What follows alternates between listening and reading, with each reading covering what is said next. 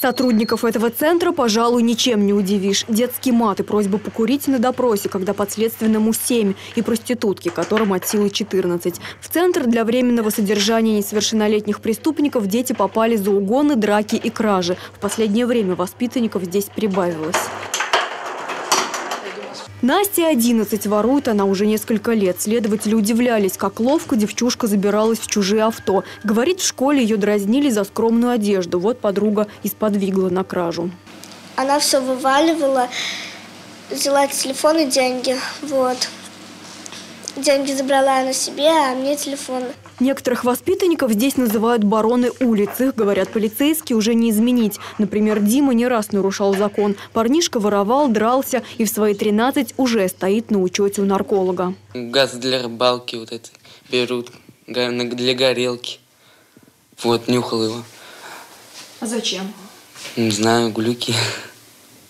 В этом центре маленькие хулиганы и учатся, и живут. Обстановка почти домашняя, только розеток на всякий случай в комнатах нет. Воспитанникам положены встречи с родителями, но приезжают они редко. Многим все равно, что будет с их детьми, но детям не безразличны взрослые. Тоска, конечно, их первую, ну, первую неделю съедает. То есть хочу на волю, хочу к маме. Вот. Потом уже вот обласканные, в этой заботе находятся, уже, конечно, тоскуют по дому, но уже все намного лучше становится. Ну неужели у вас здесь заботы и ласки больше, чем дома у них? Бывает, да, бывает и такое. По закону дети находятся здесь от 10 до 30 суток. С воришками, разбойниками занимаются психологи и воспитатели. По их мнению, подопечных и детства-то нет. Многие дома не едят досыта. Бывает, что сотрудники ваши плачут от увиденного, услышанного? Бывает. Я сама иногда домой приходя, то есть рассказываю и говорю, все, мама, дальше меня не спрашивай или меня прорвет на эмоции. На самом деле бывает. Жалко детей, именно, знаете, тех, которые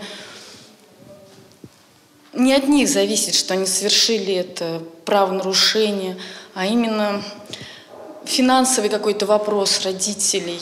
И они идут, мы маме помогали – то есть они воруют и несут это домой. По словам специалистов, чтобы детских преступлений стало меньше, возможно, стоит снизить возраст для уголовной ответственности. Правда, насколько именно, никто не знает. Например, строже всего к малолетним преступникам относятся в Индии, Ирландии и Сингапуре. Там ребенка могут посадить в тюрьму уже в 7 лет.